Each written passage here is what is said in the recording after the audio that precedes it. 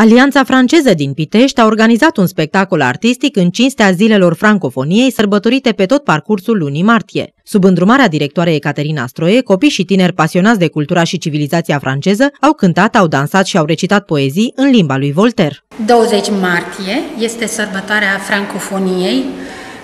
în lumea întreagă marcată prin tot felul de activități. La noi ziua francofoniei înseamnă deja luna francofoniei, pentru că toată luna martie derulăm uh, activitți foarte diverse. Astă seară avem uh, Port Ouvert, spectacol la Alianța Franceză, uh, unde participă copii francezi și români, francezi de la Micul Prinț,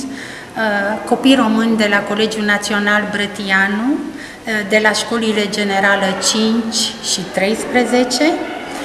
de la Liceul Ion Barbu, uh, Costești,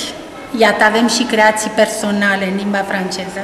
că românul s-a născut poet, avem melodii celebre din uh, repertoriul marilor vedete Edith Piaf, Mireille Mathieu, Céline Dion, avem cântec, dans, fragmente din piese de teatru, Uh, Uh, Molière și Eugen Ionescu, deci uh, foarte multă diversitate, uh, să demonstrăm că franceza înseamnă o fereastră deschisă spre lume și